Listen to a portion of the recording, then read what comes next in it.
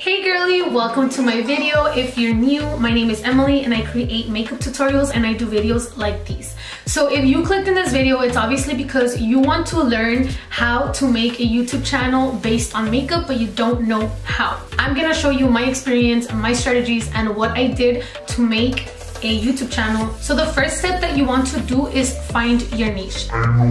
Everybody says it. This I know, but it's actually a thing. So if you like makeup, you have to know what you're good at when it comes to makeup. Are you good at skincare? Do you know a lot about skincare or are you good at eyeshadow? I do eyeshadow. If you're good at eyeshadow, stick to that. If you're good at contouring, stick to that. If you're good at dramatic makeup or if you're good at drag makeup, whatever it is that you're good at, Stick to that. I know that it's gonna be scary when you post your first YouTube video and that's totally fine.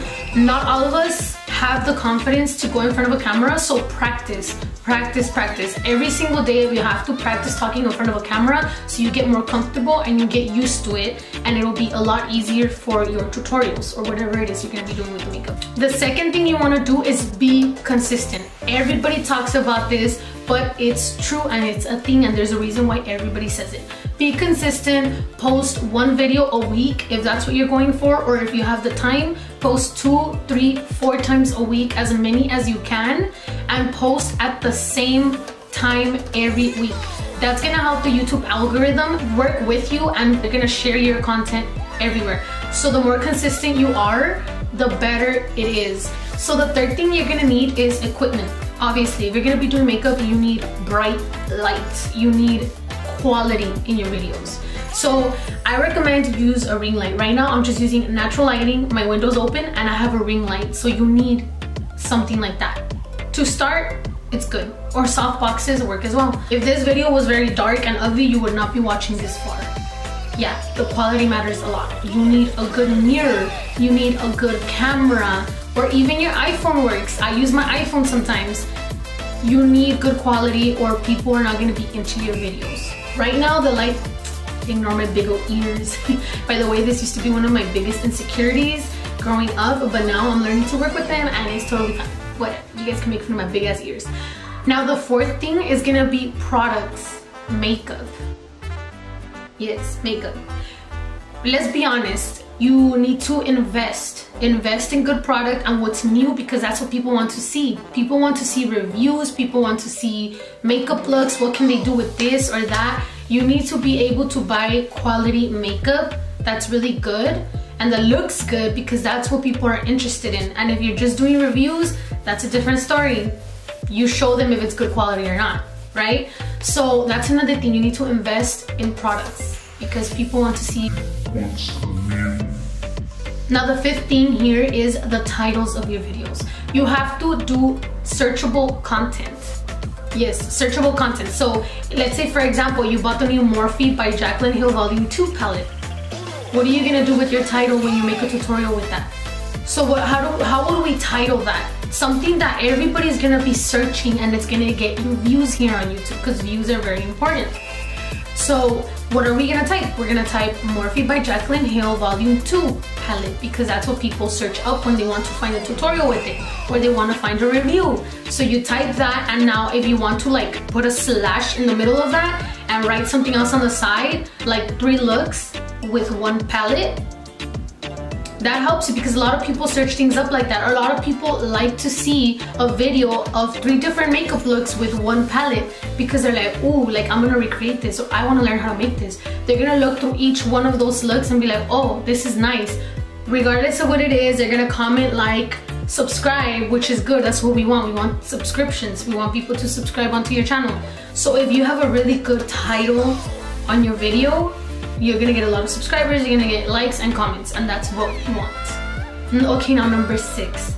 This is very important. Focus on what value you're giving to your viewers rather than yourself. Focus on your people, not on you.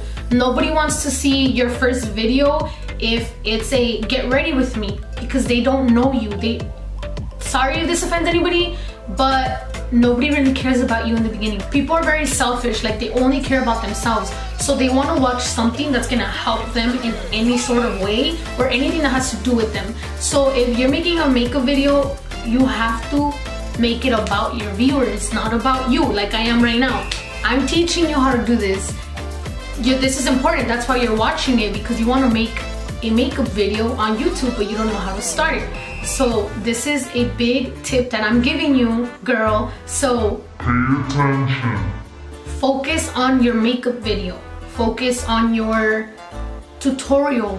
Whatever it is you're creating that has to do with makeup, focus on that and teach the other person how to do it. Let them know what you're doing. Let them know what product you're using. Let them know because this is for them, not for you. Nobody cares about who you are right now. No, you can do those videos later on, but nobody cares about who you are. Okay, and the final one is monetization. Yes, that paper, monetization. Google AdSense. If you reach the requirements that it takes on YouTube to start getting paid, you start to make money.